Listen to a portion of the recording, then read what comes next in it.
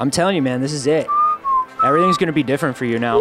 You went to sleep last night, nobody knew who you were. You're famous now. People are gonna treat you different. Are You ready for it? Don't know. Come on. Don't let it get in your head. I'm sorry. I didn't mean to get in your head. It's going to be great. It's going to be great. I just want you to be prepared. R2 was a jerk for 30 years because he wasn't ready psychologically. I feel like you're more emotionally stable than he was, though. Are you good? I know you just did press. All right.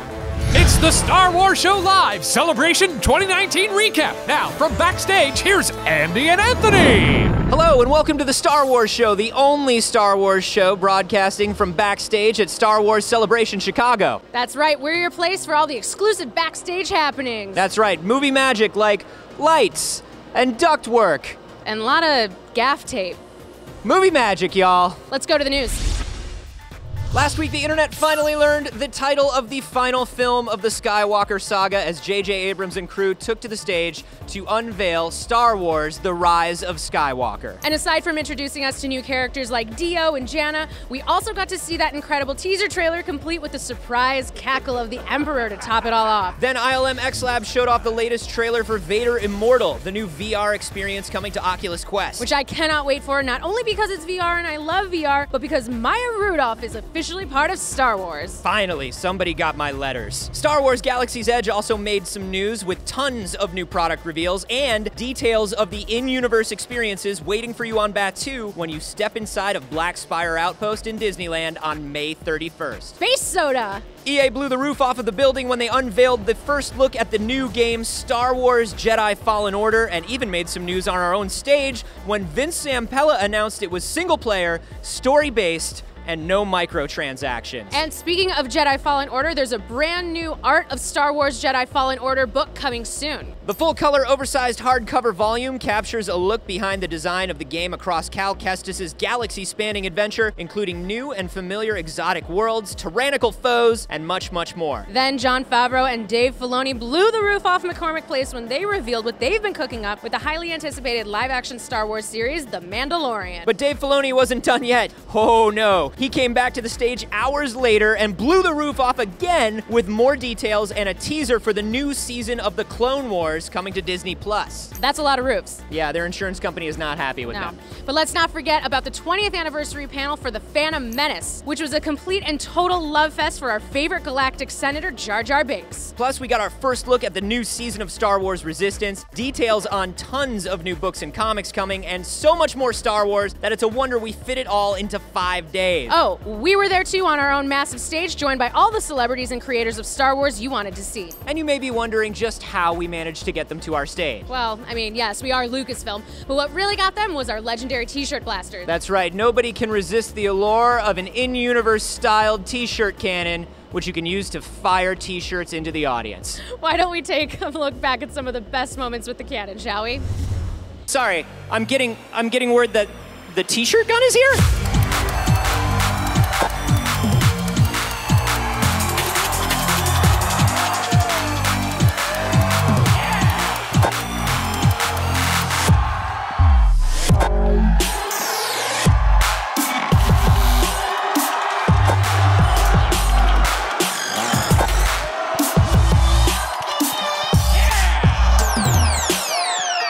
Pedro, we want you to be the first person to fire our brand new Mandalorian t-shirt Whoa. cannon.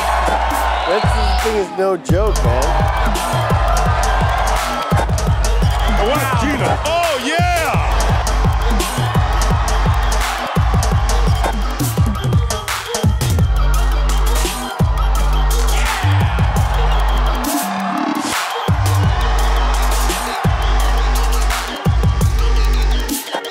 That's fantastic.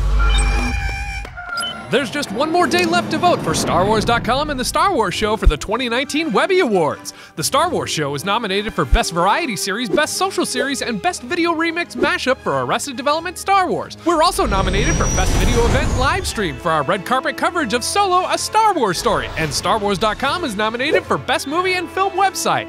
Head to StarWars.com slash SWS now for information on where and how to vote. Hurry, voting ends tonight. How are you, sir? It's good to see you, You again. Yeah, Jeez. absolutely. Trailer was wonderful. Yeah, that was fun, wasn't Panel was great. Yeah. Hey, buddy, you're doing great. My dude. What's up? All right, you done? No, no, you got, you got a whole line to go. Billy Dee Williams, welcome back to Star Wars, man. We missed you. Yeah, thank you, thank you. It's uh, been a wonderful little journey. You can talk about it now. How does it feel to be able to talk about it now? half talking about it. I play a character called Jannah. That's fun. I'm in the film. Is it hot in the costume? You know, it is, but after years of doing it, you just get used to it. It kind of becomes like a second skin, Mm-hmm. you know? And how did, how did you feel about this being the last time you would be in a major Star Wars film as C-3PO? We don't know what's going to happen in the future. Lucasfilm obviously has a lot of projects in the works, but I will say that uh, it was very poignant ending this chapter of the Star Wars saga. R2, it is, of course, wonderful to see you again. Thank you for coming out up.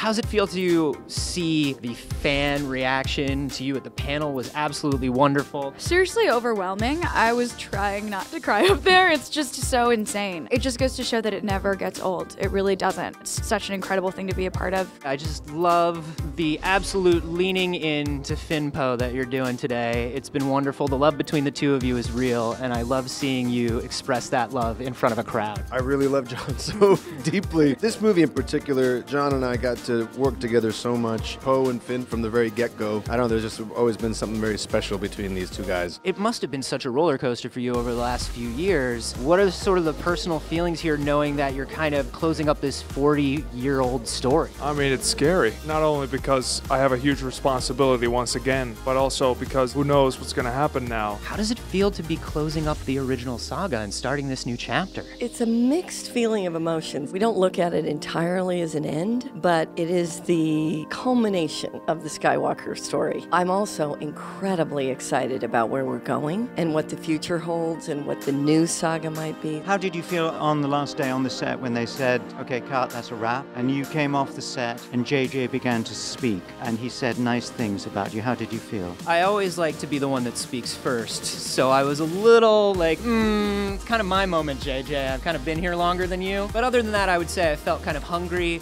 a little tired, just a little achy in the feet. I'm sorry I started this because he's just too good. I really bit off more than I could handle there. How did it feel to actually be able to come back and close out this story? Selfishly, I loved the experience of Force Awakens so much. I was nervous that coming back would somehow undo or sort of poison the waters of what that experience was somehow. And why would I want to risk that? Because it was such a great time. And this experience, I think, it ended up being an infinitely more gratifying experience. The challenges in this movie were crazy, and yet I feel like everyone brought their triple A plus game. How was it just being on set and working with JJ and working with the new cast? Oh, it was wonderful. I love JJ.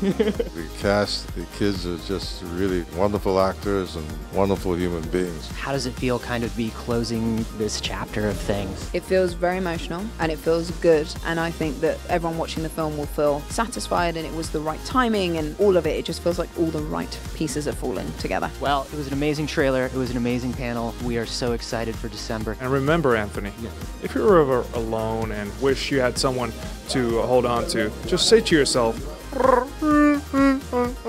and things will be better. Thanks, man. Watching the Star Wars show.